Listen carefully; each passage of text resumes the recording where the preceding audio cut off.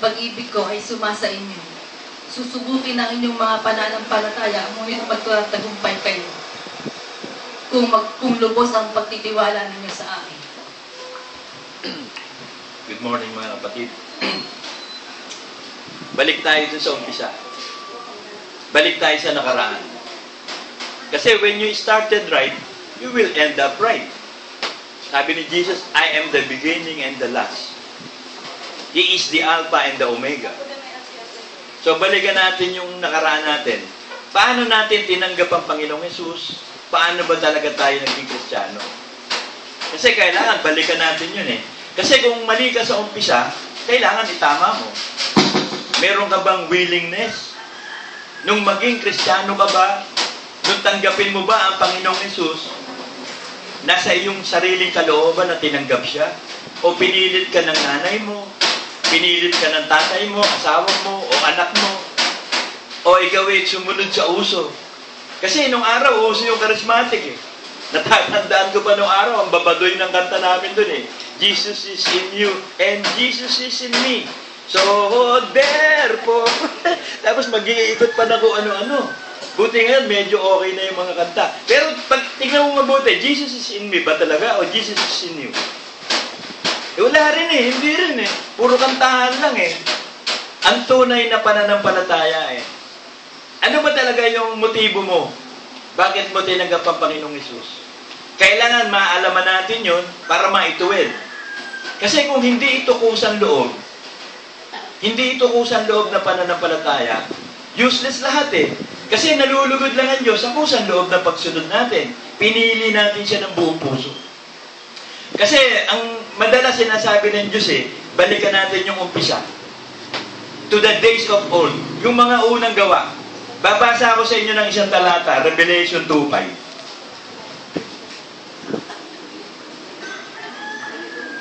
Kaya't alalahanin mo kung saan ka nahulog at magsisiga at gawin mo ang iyong mga unang gawa.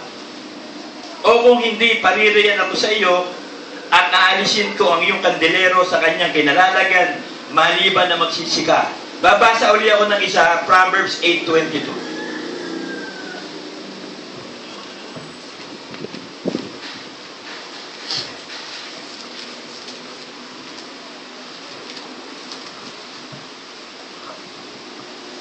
Excuse me nga, natabaran.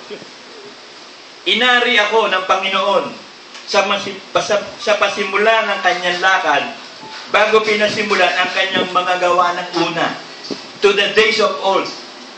Kaya nga, napaka-importante nun. Eh. Si Hezekiah, alam nyo ba, nung sabihin sa kanya ni Isaiah, mamamatay ka. Kasi nagkabukol siya sa ikamamatay. Eh. Sabi ni Hezekiah, sabihin mo sa Panginoon yung mga unang gawa ko, yung pagsunod ko talaga sa Kanya.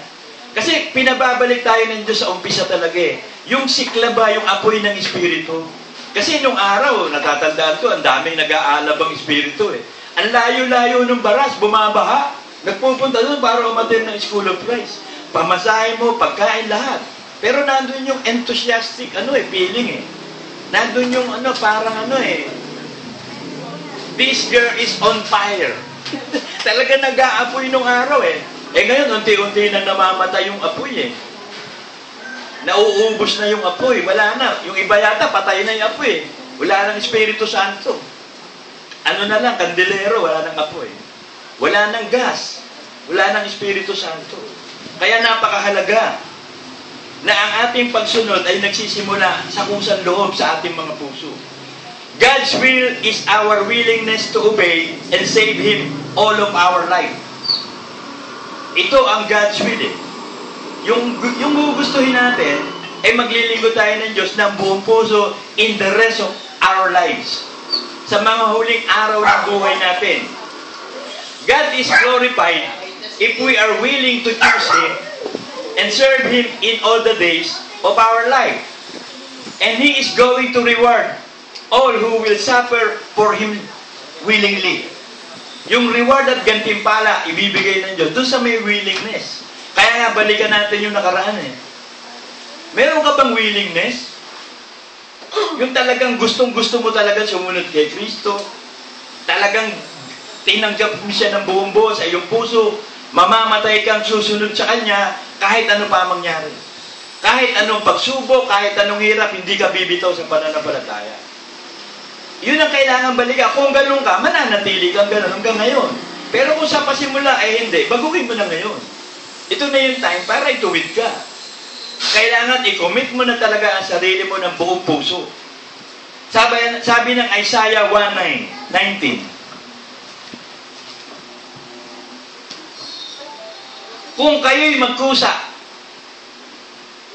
at magmasunurin, kayo'y magsisikain ng buti ng lupain. Flowing of milk and honey, ang promised land eh.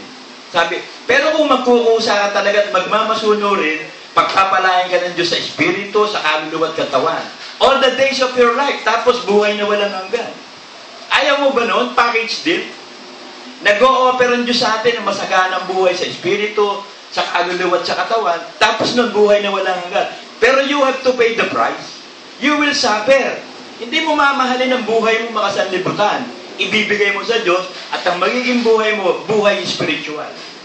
Pagsunod na lang sa Word of God all the days of your life. O payag ka ba ng ganon? Kasi kailangan sumagot ka eh. Sabi ng 1 Kings 18.21,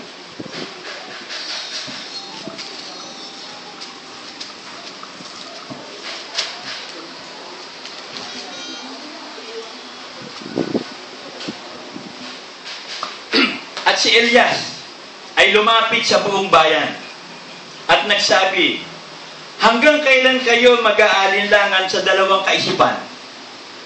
Kung ang Panginoon Diyos ay Diyos nga, sumunod kayo sa Kanya.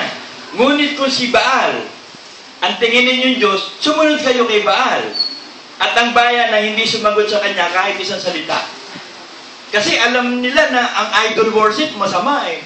Eh si Baal, idol worship yun eh. Kaya sabi niya ni, ni, ni Elias eh, kung tunay ba ang Diyos natin, ang Diyos ba ng LCJ Ministry, peke o totoo? Totoo. O iba, double-minded pa iba. Totoo pala. Natagpuan mo yung totoo, edi manatili ka na hanggang bukas.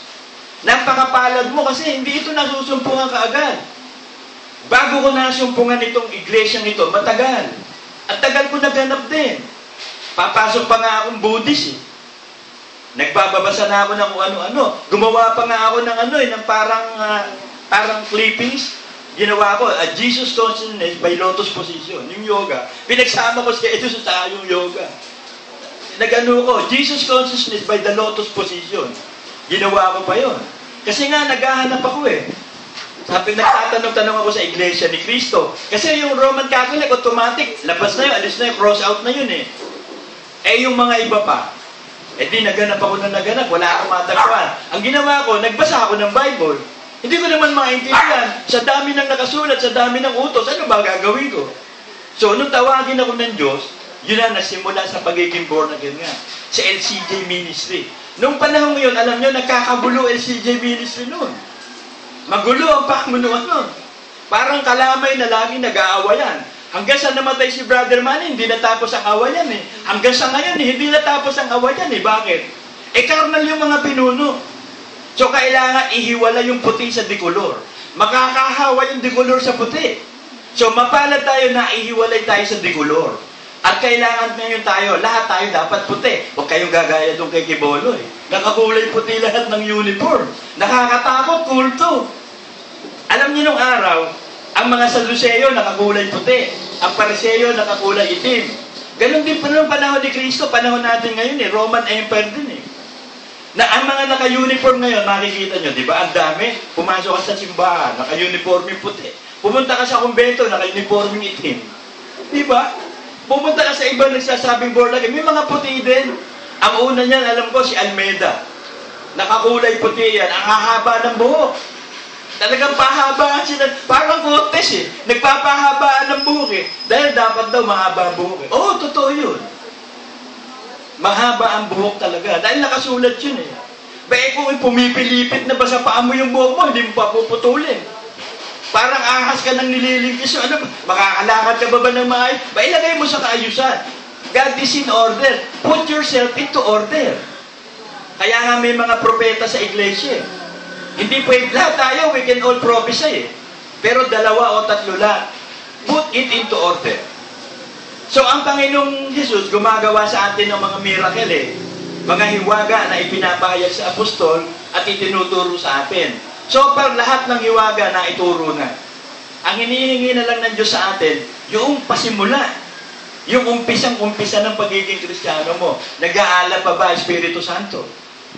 Yung bang unang pag-ibig mo, eh, unang pag-ibig pa rin. O nakalimutan na.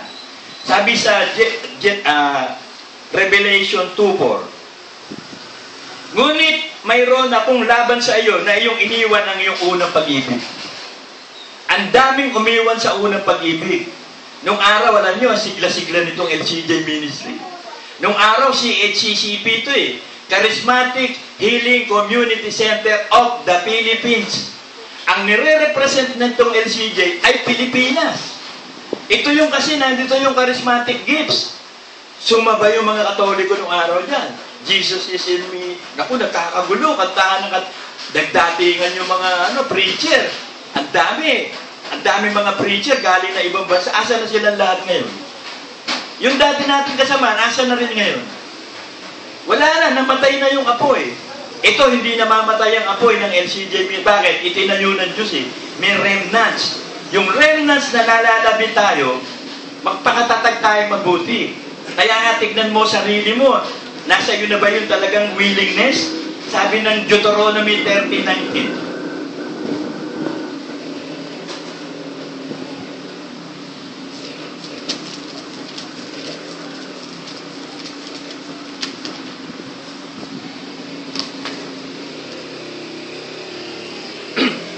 aking tinatawag ang langit at ang lupa na pinakasaksi laban sa iyo sa araw na ito. Langit at lupa, yung witness, saksi yun, laban sa iyo. Ha? Yun ang magpapatotoo sa iyo, yung langit at lupa na saksi, na aking ilagay sa harap mo ang buhay at kamatayan ng pagpapala at nasumpa. Kaya't piliin mo ang buhay upang ikaw ay mabuhay, ikaw at ang iyong binhi. So, idinamay ng Diyos, pati mga anak, isang buong pamilya. Ngayon, ano pipiliin mo? Buhay ba? Kamatayan ba? Buhay na walang hangad ba? O yung buhay mo sa lupa? In willingness to, ha? Ng buong puso. Kailangan wagas ang puso mong gaganapin to. Sabi ng ano, Joshua 24.15,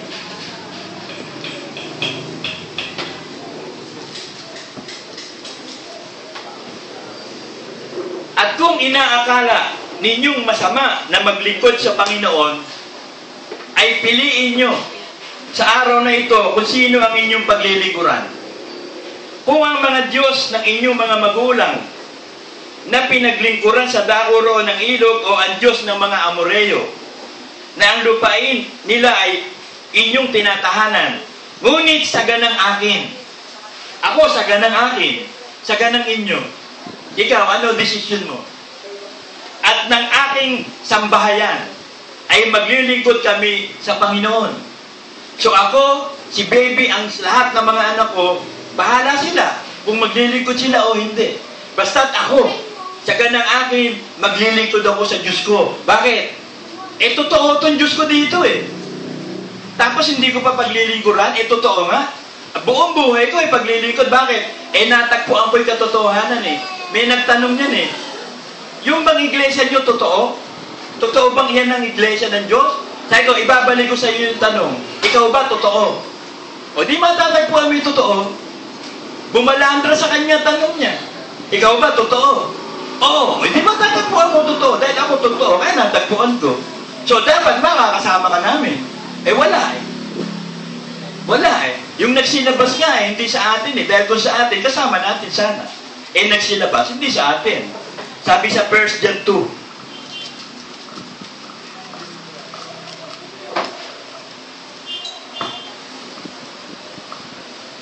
First John 2, 18, 19. Mumunting mga anak, ito ang huling oras. At gaya ng inyong narinig na darating na ang Antikristo. Kahit ngayon ay lumitaw na ang maraming Antikristo. Kaya nga, nalalaman natin na ito na ang mga huling oras. Sila'y nagsilabas sa atin. So, yun ang mga antikristo. Yung kasama ng Diyos, lumaban sa Diyos. Kaya antikristo, against God eh. Kasamahan natin, umalis sa atin. Yun ang antikristo. Ngunit sila'y hindi sa atin, sapagkat kung sila'y sa atin, ay nagsisipanatili sana sa atin, ngunit, ngunit nagsilabas. Upang sila'y mahayag na silang lahat ay hindi sa atin. At kayo may pahid ng banal at nalalaman ninyo ang lahat ng mga bagay. May Holy Spirit sa atin eh, na nagtuturo kung sino yung mali at tama. Siya ang nag-guide sa atin kung ang turo ba mali, ang turo ba tama. Word of God ba yun? According to God ba yun o hindi? So walang makapanlolo ko sa atin dahil may pahid ka ng banal na Espiritu. Yung binuksan ng Diyos, walang makapagsasarado. Pero yung sinaraduhan, walang makapagbubukas. So ikaw, tignan mo sarili mo, ikaw ba talaga totoo? Kasi lagi na lang sinasabi ito ng Espiritu Santo, ikaw ba totoo? Kasi kailangan na magpakot ito. Nauna. Nauna. Baka, kaya, baka mahuli oras eh. Finish or not finish, pass your paper. Di ba nangyayari sa atin yan? Kaya alam nyo ako, natuto kong mabilis gumawa ng exam. Alam nyo, training ko dito sa picnic. Nung barkada namin dito nung araw, pagkatapos mag-inuman, mag-iititan. Eh di bangag na, lasing na, tapos picnic. Eh mauubusan ka pag hindi ka mabilis kumain. Kailangan mabilis. Kaya pagkuha ko rin na isa, mabilis din ako eh. Ako laging una eh. Sa, makatapos na eh. Natatandaan ko pa noon, napili ako ng teacher ko sa science. Who is who in mathematics? Pa ako representative. Eh, last section ako noon eh. Sa Rizal section 16. Pinili ako. Eh ko, ma'am, nag, baka nagkakamali kayo na pili siya. Ang mga kalaban ko doon, dati ko mga ka-eskwela sa section 3. Section 3 ko, naging section 16 eh. At saka mga section naman ang kalaban ko doon. Hindi, ikaw ang representative natin. Tsaka ito si Antonio Go. Ayun dalawa, ang, ang galing eh. Kasi alam nyo, 99 nyo sa NCEE, ako 97 lang eh. Ay, 95. Si Antonio Go, ka-eskwela ko, 99 eh. Ka-level namin yung mga section 1. Eh di nag-exam, in mathematics. Nanonood yung teacher ko, siyempre, ano siya eh. Inspired eh, kasi yung mga estudyante niya eh, talagang ano eh. Alam niyo, di exam na. Ang bilis ko na Ako unang natapos. Tapos kinakatsawan ako ng mga ka-eskwela ko section 3, napunta section 1. Yung mga section 1, puro kakilala ko rin eh. Kinakatsawan ako, sabi ko, ang babagal nyo. Pinasa ko sa akin. Eh di sabi ng teacher ko, oh, bakit ang bilis mo mag-exam? Ko, eh tapos naman eh. Sigurado ka? Oh, sigurado yun. Hinanap ko yung pangalan ko kung nakapasa, hindi. talo! Talo kami! Sabi ng teacher ko, pambira, ang bilis mo mag-exam, hindi wala, wala pangalan mo doon. Eh, ba't naman pag-uubusan ko ng panahon yung hindi ko alam, ang hirap eh.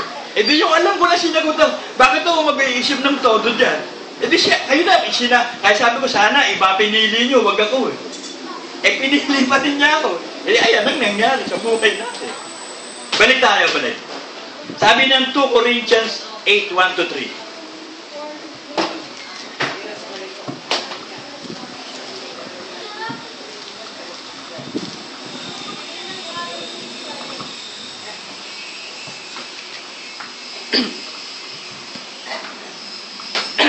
Bukod dito mga kapatid, ay pinatatalastas namin sa inyo ang biyaya ng Diyos na ipinagkaloob sa mga iglesia ng Macedonia.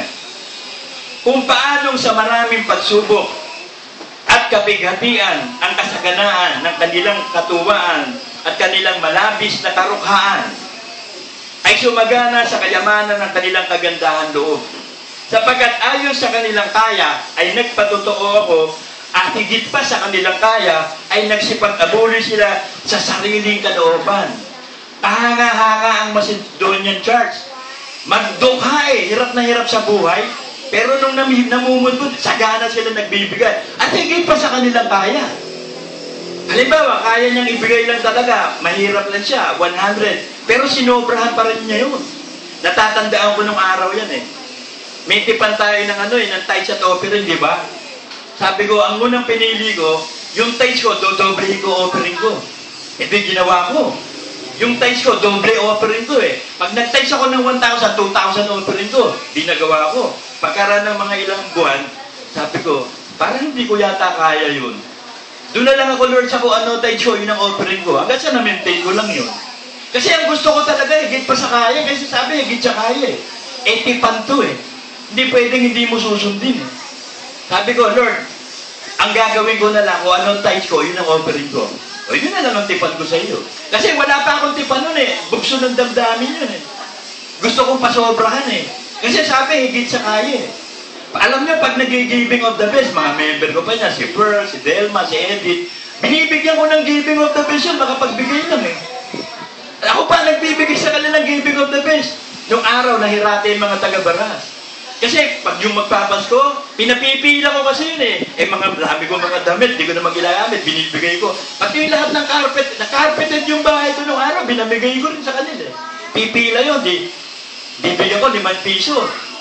Bawat isa, bata, matanda. Aba, may umuulit. Sabi ko, namumukhaan kita, kilala kita, nabigyan ka na eh. Uulit talagang kayo mapagsamantala. Hanggang sa naputol na supply doon sa lugar na yun, opportunista eh. Ang pinutol. Kasi pag opportunista ka, hindi ka susuplayan ng Diyos. It's better to give than to receive. Ang gusto, tanggap ng tanggap. Ayaw magbibigay. Kaya nangyari nun, inalis sa baras eh. Naging ano eh, mga opportunist. Alam niyo, may communal nung araw ito. Alam niyo, may member ako dito, siya po nawala eh. Kasi nung araw, talagang dictate by the pharaohs ang pag-uutos eh. Gagawa ka ng tipan na mag-o-offering sa kanila. Ibibigay. Kasi nung araw, pag nag-o-offering kami, kabang ka ba na asukal, kabang ka bang bigas. Bawat ano, charge kasi, magre-represent ng offering. Sabi ko, parang may mali. Nagkakayabangan. Para, pag mag, pag mag-o-offering kami doon, eh, para pag mo isang sakong bigas, dala-dala mo, yabang mo eh. Sa isang sakong asukal, ang yabang mo eh. Eh pag madami kayo, ang yabang mo rin, dami ko tupa. Eh pag tatlo lang kayo, yung kudang gulo, nakakahiya. Tapos pag magbigay ng ano, 100 offering. Eh bago ibigay yung 100, talaga ipakikita muna sa manda bago ibang baksan. Eh yung 20, na-shoot na yung kamay, ginigit-git pa doon sa loob ng kahon eh. Hindi ma-shoot-shoot yung 20, 20 lang eh. Hanggang sa pinutol din ng Diyos yun. Kasi kailangan pusang loob, hindi yung sapilitan na order ng ano, nakataas-taas ang hukom. Order ng paraon eh. Si Brother Ross, paraon ng style eh. Pag sinabi niya kailangan maganap, 100 dapat ang offering. Nawawala na yung pagpapasya. Yung 2 Corinthians 9.10, 9.8. Wala na. Nadidisgrasya yung word of God na yun. Sabi dito. 2 Corinthians 9.7 pala. Magbigay ang bawat isa ayon sa ipinasya ng kanyang puso. Huwag mabigat sa loob o dahil sa kailangan, sapagkat iniibig ng Diyos ang nagbibigay ng masaya. At maaaring gawin ng Diyos na ang lahat ng biyaya ay magsisagana sa inyo. So pwede kang pasaganahin ng Diyos, pwede kang payamanin. Kasi nasa Diyos ang kayamanan. Sil- Silver and gold is mine, sabi ng Diyos. Ako nagpapayaman, ako nagpapaduka. Ako bumubuhay, ako pumapatay. So lahat na nagaganap sa mundo sa atin, may kinalaman ng Diyos dyan. May kapahintulutan ng Diyos. Kaya lahat ng na nagaganap sa atin, it is plan, walang aksidente dyan. It is all plan. Planado lahat ng Diyos sa buhay mo. Walang aksidente dyan. Bata ka pa, planado na yan. Ako nga, nagtataka ako talaga eh. Sabi ko, ba't kaya ako naging pastor? Eh wala naman sa kategorya ako yung pagiging pastor. Parang nakakahiyang maging pastor eh. Parang nahihiya ako maging pastor eh. Ayoko ng pastor. Kasi nakikita ko mga pastor, puro probinsyano. Kung manamit, kulay puti, ang babadoy. Ang mga kanta, ang babadoy. Sabi ko, ba naman, ito ba papasukan ko? Ang babadoy na nung mga preacher, ang babadoy pa nung damit. Ang mga babae, probinsyana. Sabi ko, wala ba yung totoong mga taong kristyano na i-expose mo? I am what I am. Ilalabas ko kung ano ako. Sabi ni Pablo, I am what I am. By the grace of God, I am what I am. Hindi yung nagkukunwari. Iniisip ko, sabi ko, dapat yata magsuot ako ng disente. Hindi naman ako ano, hindi naman ako artist kapag ang suot ko yung naka-slacks na ano, tapos naka-polo baron. Hindi ako, polo lang ako, tsaka ano, tsaka pantalon, ganun lang. Eh, ba nung araw, alam niyo ba, nakakurbasa pa kami. Sabi ni Brother Ross, nakalunga siya. Na, ba? Nakakurbata. Akala, naalala ko to, eh, para ka magtitinda ng Euroclean eh. Yung kakalunga, somebody's knocking at your door. Euroclean ho. Nakakurbata pa kami. Eh, ang huli-huli suot ko ng kurbata nung mag-apply ako sa Manila Hotel. Ang gaganda ng babaeng interview ka, nakakurbata pa ako. Nag-apply ka, sabi sa akin, you're hired. Ba? Hindi pa ako nakakausap. You're hired. Pumunta ka rito sa office namin sa Mandaluyong, di punta ako, pinabukasan. Nung pala, Euroclean man. Kaya pala you're hired agad. Sabi ko, agad-agad. Hired agad ako. Naku, di sumama ako. Sabi ko, eh, kailangan ko ng trabaho. Umpisa pa lang sabak namin. Ito, nakakahiya. Ito, may akay-akay kang ano, yung Euroclean bag na kulay blue. Tapos kakato ka parang kang nagmamakaawa sa... Mag, pwede ho bang magde-demo kami nito? Malinis ho, lilinisin namin yung bahay nyo. Ay ko, hindi ako kasama dyan, kayo maglinis. Panonoorin ko lang kayo. Ako sumama rito, titignan ko lang yan. Ba hindi ako nakatiis, iniiwan ko ikaw. Bali pa, si Vilma Puentes yung kapartner ko. Vilma Santos na, Amalia Puentes pa. Eh, ang ganda rin yung kasama ko. Ay ko, pasensya ka na, iiwan na kita, hindi na ako tatagal sa kanya. Resign agad ako. Sabi ko, magre-resign na ako, ayoko na. ayoko niyang trabaho na yan. Akay-akay mo. Para kay Yakult eh. Yung nagtitinda ng Yakult, kulay blue din yun eh. Ay ko, hindi ito. Hindi ito gusto kong trabaho. Ang gusto kong trabaho, manager eh. Ay ko, hindi naman pwede. Eh, wala naman ako, hindi naman ako, ano talaga, yung nakagraduate nga ako ng Industrial Management Engineer, eh, trans, ang dami ko pang baksak. Pag tinignan mo yung transcript of records ko, ang daming drop. Sabi ko, alam nyo, pepekein ko sana yung transcript of records eh. So, pikein ko kaya, dali-dali naman, graduate naman ako. So, useless, wala mga, ganun din eh. Ay ko, hindi, import, ang importante yung performance ko. Matanggap lang ako. Nag-apply ako sa Pilusa. Nag-apply ako dyan. Abay, bago pa lang nag-open sa application, tinanong na yung school na, ano ba itong RPC? Sabi ko, Rizal Technology College, hindi ka pwede. Ay ko, bakit? Kailangan taga-Ateneo, taga-UP, tinatanggap namin. Ay ko, hindi mo pwede eskwelahan na yan? Hindi pwede. Baksak. Application form pa lang, baksak na. Nag-apply ako sa Republic Corporation. Bali ba, ang in-applyan ko pa, ang tindi. Ah, ang tindi nung in-applyan ko, nag-exam. American style yung standard yung exam. Sumabog yung utak ko. Ka, ano, ka, baksak ako, ang hirap-hirap. Pagdating dito, may nagigitara. Barkada ni Boy yata. Kinuha ko yung gitara. Frustrated ako eh. Kumanta ako ng ano, ng... Ang kinanta ko pa eh. Yung ano eh. Tata, closer to home yata yun, ng Grand Funk Railroad. Napagod ko yung mga string. Sa sobrang galit ko, baksak ako eh. Tapos nagigitara ako. Nag-apply ako kung saan saan in-applyan. Wala. Sabi ko, wala talaga. Ang hirap maghanap ng trabaho. Ay ko, paano kaya ako yayaman? Naisip ko, mga hold up ng bangko. Kasi mabigla, big, mabilis ang pagyaman dun eh. Sabi ko, pag ako nakakuha ng maraming pera, bibigyan ko ng maraming pera, nanay ko, tatay ko, mga kapatid ko, tapos aalis na ako. Tapos magtatayo ako ng grupo, kukuha ako ng abogado, para pag may kaso kami, may abogado. Tapos kukuha ko ng mga pulis para sumuport naman sa amin sa gobyerno. Yun ang plano ko talaga, sindikato. Organized syndicate. Eh dumating ang panahon, tinawagan ako sa assessor ng Makati. Tinanggap ko. Ay ko, testingin ko nga ito. Kasi nag-apply naman akong pulis, pasado ako eh. Dalawa yung exam ko eh, professional civil service, pasado. Professional civil service, pasado. Third class officer ng pulis, sa Napol ko, pasado. Sabi ko, pulis kaya, mas maganda pulis, mas, mas, mas marami kang hahawakan sindikato. Sabi ko, magpupulis kaya. Eh si Lenny, yung kabaganakan ng asawa niya dito, ano ang tatay niya, chief of police ng Kainta. Sabi sa akin ni Lenny, mag-submit ka sa akin ng ano, ng credential mo, tsaka application, ipapasok ka ni dati sa Western Police sa Manila. Ako ba, okay yun ah. Western Police, okay to, dito big time to. Eh, dumating yung sa assessor, sabi ko, ano kaya pipiliin ko? Police, kung police naman, may baril ako. Makakapatay ako ng marami doon. May baril ako eh. Kung sa assessor naman, hindi naman ako papatay, marami din pera. Assessor ang pinili ko. So, nung mapili ko yung assessor, pinag-aralan ko yung mga sindikato sa loob. Natutunan ko yung sindikato kung paano. Eh ako, labas-pasok sa opisina ni engineer, hindi nila alam, tinitira ko yung mga field sheet doon. Naibabalik ko, nakukuha ko, hindi nila alam. Kaya nung dumating yung time, nagkaroon ako ng break, yung Tesoros Corporation. Ano yun eh? Revision nun yun eh. Mayroong abogadong lumapit sa akin. Sabi niya, "Ah, kilala mo ba yung chief appraiser nyo rito? Ay, oo, kilala ko. Bakit? May problema ba? Kasi meron ako rito ano eh, bibigay sa revision niya, magbabayad kami ng tax sa lupa at sa bahay. Kasi ang kalakalan sa Maynila, 5% eh. Sabi ko, bakit dito, magkano ba kalakalan? Sabi, magkano ba? Sabi ko, hindi 5% eh. Wala naman ako alam doon. Sabi ko, ano ba gagawin natin? Ito nga eh. Rerito ko yung hinto eh.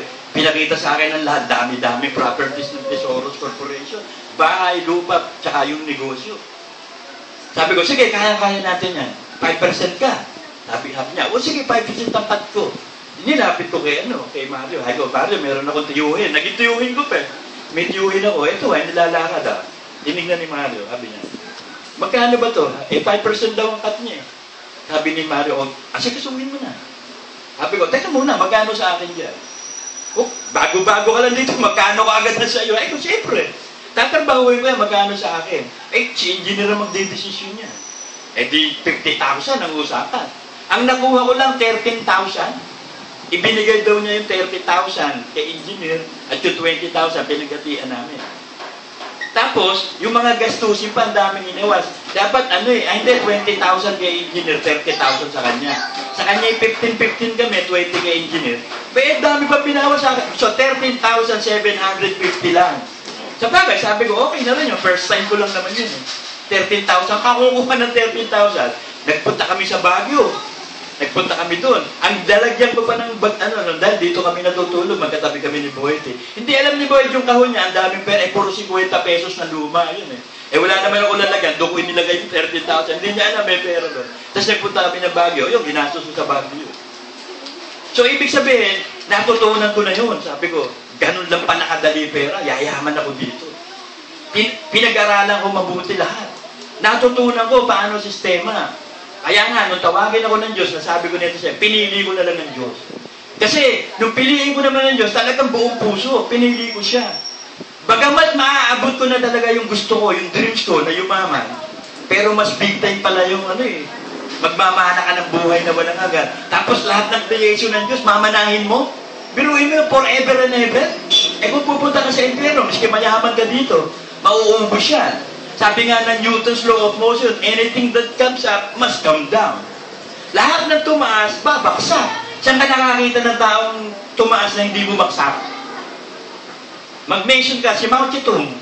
Taas-taas niya, bumagsak. Si Marcos, ang taas-taas niya, bumagsak. Magsabi kayo ng tao.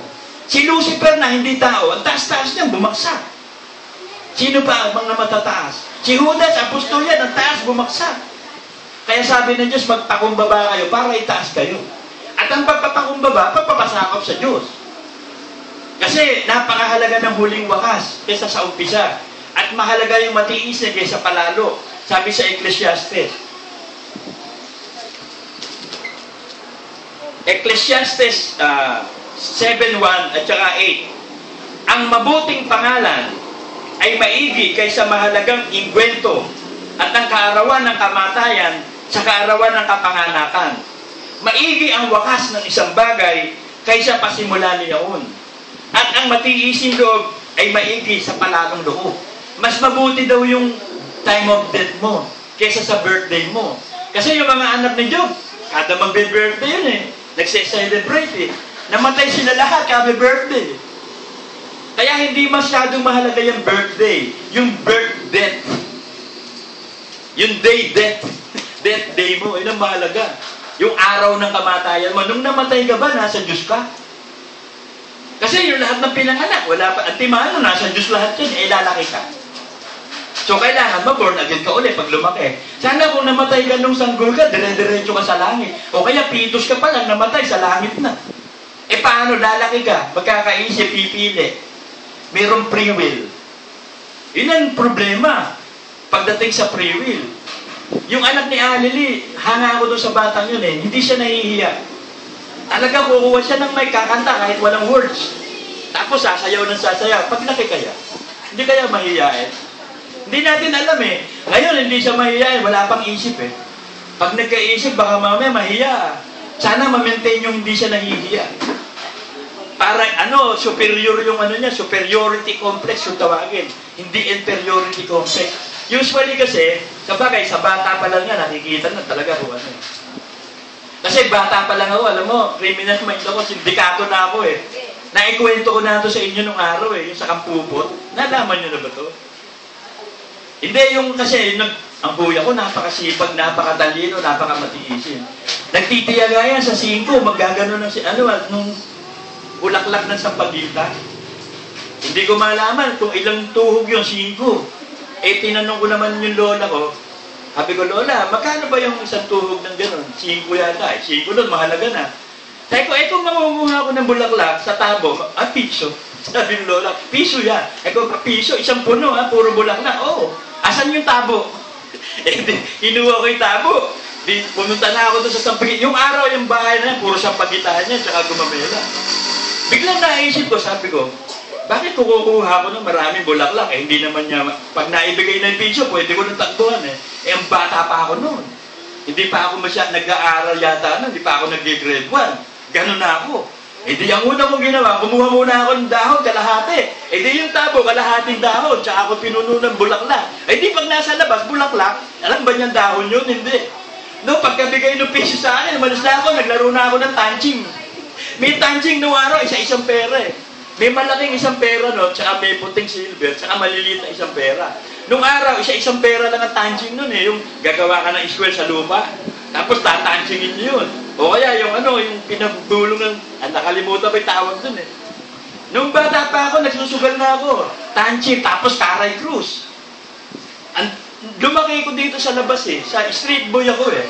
Lumabas ako dyan. Kaya ako na, napulpil ko yung buhay ng katulad ni Moses eh. Si Moses, yung first, first 40 years niya, nabuhay siya ayon sa kultura ng Egypto. Naranasan ni Moses yung ano eh, yung sarap ng buhay. Pero yung next 40 years niya, nung tawagin siya, inihanda siya sa Mount of Sinai. Binigyan siya ng revelation. Nung siya handa na maglingkod, yung last 40 years niya, naglingkod na siya. Deliverer siya ng ano, ng Israel. So, ganun din ako eh. Yung first 40 years ng buhay ko, talagang okay. Fulfilled ako eh. Nagawa ko lahat ang mga gusto kong gawin nung bata. Kasi wala naman ako ambisyon eh. Pag tinatanong ako, ano ba gusto mo nung bata ka? Wala. Ano ba gusto mo mag, gusto mo maging doktor? Ay, walang kwenta yung doktor. Gusto mo maging pulis? Walang kwenta rin yun. Papatay ng kriminal yun. Ako may tinanong ako isa, eh, yung nasa likod bahay namin, inaanak ng nanay ko, si Sani. Sabi ko, Sani, halika. Tsaka yung kapatid niya, si Palito, halika. Palito, paglaki mo, ano gusto mo? Sabi niya, gusto ko maging pulis. Ay ko, bakit? Kasi papatayin ko yung mga kriminal. Alam niyo kung ano ngayon siya, babaero. Yung isa, si Sani. Sabi ko, Sani, ikaw anong gusto mo? Gusto ko maging multo. Teka, bakit naman multo? Gusto ko, gusto ko manakot ng tao. ang gusto niya maging multo, manakot ng tao. Ay ko, ang galing mo ah. Okay ka. Para yung anak ni ano. Ang galing ah. Ngayon, alam nyo, matibay na sa abroad, nag-welder. Yung gustong maging multo, welder na ngayon, masensyo pa sa buhay. So makikita nyo, ang tao kahit masama, halimbawa, masama ang tao, kita mo masama, darating yung panahon, pag yan, lagi magagawin ng Diyos na mabuti. Kaya huwag kayong, ano eh, yung mawawala ng kalooban sa mga anak nyo na masasama. Kasi ako, masama talaga ako eh. Kaya ang gusto ko, tulungan ko na lang ang mga magulang ko at kapatid ko eh. Payayamanin ko sila sa illegal na paraan nga lang. Tapos kapag naibigay ko na sa kanila yung maraming pera, sasabihin ko, oh, bayad na. Yung pagpapanganak nyo sa akin, pagpapalaki, bayad na lahat. Wala na ako utang. May sobra pa siguro yan. Gusto kong ano eh. Pero hindi yan ganun ang paraan ng Diyos eh. Ang paraan ng Diyos, tinawag tayo ng Diyos, nakaunawa tayo, ipapasa natin sa mga magulang at kapatid natin yan. Kasi si Timothy, sabi ni Pablo kay Timothy, yung pananampalataya yung nasa iyo, Timothy, nanggaling muna yan sa lelang mo eh. Naipasa sa nanay mo, naipasa sa iyo. So meron genealogy talaga ang may pananampalataya. May angkanan talaga, may lahi ng Diyos talaga. Kaya kasama yung binhi. So ito ang conclusion ng lahat ng bagay. 1 Timothy 1.5.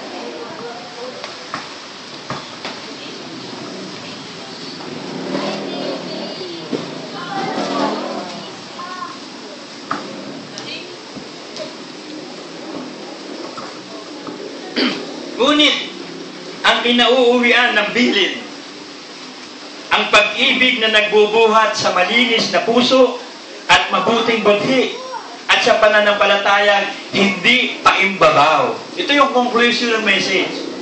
Yung mga aral ni Brother Manny na itinuro sa atin, yung revelation, at yung mga aral na inihati sa atin, ang purpose lang yan para hindi tayo maging mapag-imbabaw. Yung ating pananampalataya, malinis na puso, malinis na budhi. So, yun ang talagang mensahe. Ang kaya ang tanong eh, malinis na ba budhi mo? Malinis na ba puso mo? Nasa puso mo na ba talaga? Ang kayamanan mo ba ang Diyos? Sabi sa Proverbs 48.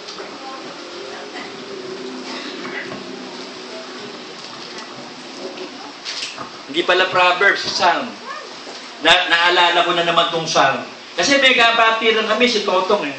Sabi, sabi nung isa, Brad, saan ba nakikita yung awit ni David, sabi niya, tingnan mo doon sa song. Ah, Sabi, walang song eh, sa sing. Tingnan mo sa sing. Sabi niya, walang sing. Ah, alam ko na. Tignan mo doon sa pasang. sabi ko, eh sabi ko, makikita mo yung mga tao ano eh. Pero hindi mo hihiyain. Kasi yun ang kaabutan ng kaisipan niya eh. Sa, eh, awit nga naman, eh song. Wala sa song, eh di baka kumanta, sing. Ay alam na, naalala niya, yung song, silent P pala yun eh. Pasang. Alam niyo, ito nga, simpleng sample eh. Maraming hindi rin nakakaalam sa inyong gaano nito. eh. Yung pagpo-pronounce ng EX, yung mga, kagaya nung exaggerated. Pag binasa ng iba yung exaggerated. Hindi, egg. Kapag kasi, kapag kasi ang, ano ba, E, X, kapag bawal ang kasunod ng egg ang pronunciation, eggs, sa. Pero kapag consonant na, kagaya ng T, extreme, action, expose, extreme, expansion. Yun ang ano nun eh. Kasi, kasi minsan, naituwid ko si Manuel dyan eh. Habi kasi ni Manuel sa akin, masyado naman exaggerated. Sabi ko, hindi exaggerated, Manuel, exaggerated. Kasi pag teacher ka, alam nyo, kahit munting-munting, ano, alam nyo, ang hindi ko lang naituwid dito, si Brother Ross eh. Kasi nahihiya naman ako sa niya, ituwid siya na. Alam nyo kasi, akala niya kasi, sabi niya, ang daming kabataan ngayon, nagdududurog. Alam niyo ba, umuinom ng volume 10? Sabi ko, gusto ko ituwid. Sabi ko, baka mapahiya. Dapat sana, nakamatayan na niya yun. Hindi niya alam yun eh. Paulit-ulit, sabi niya, malakas ang tama ng volume 10. Eh, galing ako dun eh. Alam niyo yung volume na tinitira namin, made in India. Pag uminom ako ng volume 10, isang balig. Ang isang balig, sampu eh. Tetestingin ko muna, lima. Limang tabs ng volume 10. Galing yun ng Cambodia? Pag yung medyo ma-okay na tama ako, tamang downers yun eh. Ano ka, relax. Eh, ah, kasi pagkatapos ko tumira, magpo-44, lalaro ako ng poker. Magpo-44 ako. Titira pa ako ng lima. Gusto ko yung relax na relax ako eh. Paglalaroan mo sila lahat eh. Pag okay na ako, susundutin ko ng damo, marijuana. Pag nandun na ako, order kami ng beer. Inom ka ng beer. Ang sarap ng buhay. Biruin mo, naka-volume 10 ka, naka-marijuana ka, bumibir ka, nagsusugal ka pa. May mga babae pa sa paligid. Kompleto mga demonyo ba? Lalaro ka doon. Madalas ako manalo sa sugal doon. Talagang ano, maganda, tama eh. Alam marijuana, maganda rin ang tama eh. Huwag lang sosobra. Sumosobra yung trip eh, yung hallucination. Yung eksakto-eksakto lang, parang tingin mo sa sarili mo, ang tali-talino mo eh. Euphoria kung tawagin eh, sense of well-being. Pero pag sumobra, katulad ng cocaine, heroin, okay yan eh, yung small aso, dependent ka dyan. Nag, naglalabas ng endorphins yan eh, masaya ka, payapa ka, sense of well-being. Eh pagkatapos ng wala ng tama, flip ka naman, abnoy ka. Kailangan makatira ka muna, o dependent ka na doon.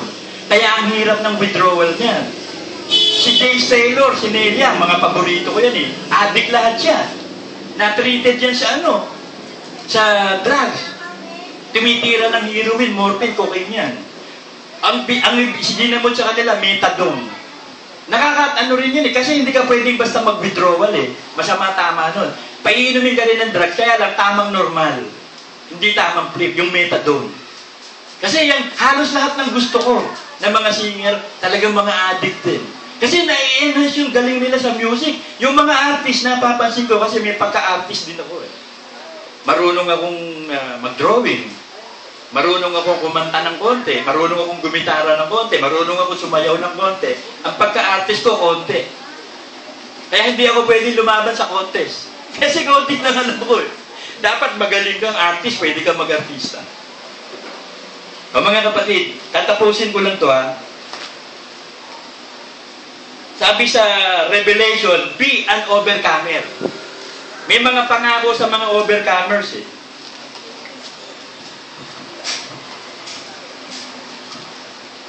Kasi pag ikaw, buong-buong puso kang sumasampalataya, sumusunod ka sa Diyos, sabi ng Diyos, He is the Alpha and the Omega. I am the finisher of your faith. I am the author and finisher of faith. Magiging overcomer ka dahil siya bahala sa iyo eh. Ito yung marireceive natin kapag gumraduate tayo.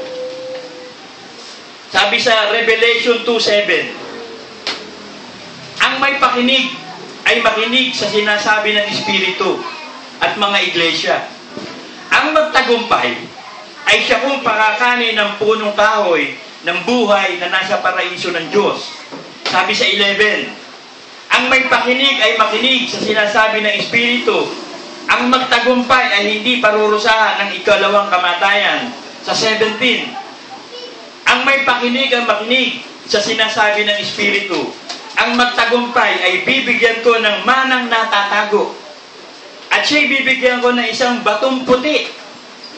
At sa bato ay may nakasulat na isang bagong pangalan na walang nakakaalam kundi yung tumatanggap. 26. Ang magtagumpay ay tumupad ng aking mga gawa hanggang sa katapusan ay bibigyan ko ng kapamahalaan sa mga bansa. Sabi sa Revelation 3.5, ang magtagumpay ay dadam, dadamitan gayon ng mga mapuputing damit. So doon pa lang maglalagayan ng puting damit. Hindi ngayon. Decolor pa damit na, eh, yung iba'y puti na kaagad eh. Hindi pa. Kaya decolor ang nagiging damit nila. Yung mga decolor ngayon, puti yun, glorified body. Hi- Hindi damit na, na tinatanggal yun. Yun na yung damit mo, yung glorified body. Ikaw na mismo yun.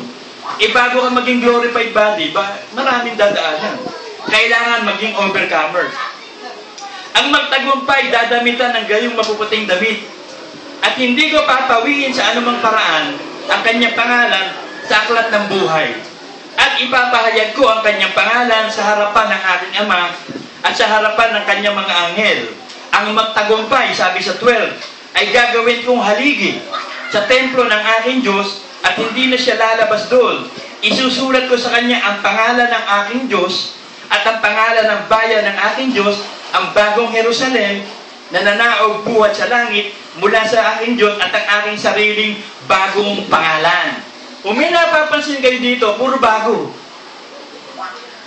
Dapat ganun din tayo, dapat bagong nilalang eh. Eh yung nakipag-isa kay Kristo, bagong nilalang. So para maging bago nila, makipag-isa ka kay Kristo. Bibigyan ka ng ba- batong puti. Yung pangalan mo na RC, papalitan yun, nakikita mo yun sa, sa puting bato. Pasilip, pa, pasilip. Pachismis naman, kung ano pangalan. Mag, yung RC, magiging CR. ang naging CR, naging comfort room. At ang Diyos magbibigay ng bagong pangalan. Bakit? Tapos na yung Jesus eh, nailigtas na lahat eh. Hindi natin alam ano yung bagong pangalan. So ano yung mini-message ng Lord? 1 Corinthians 2.9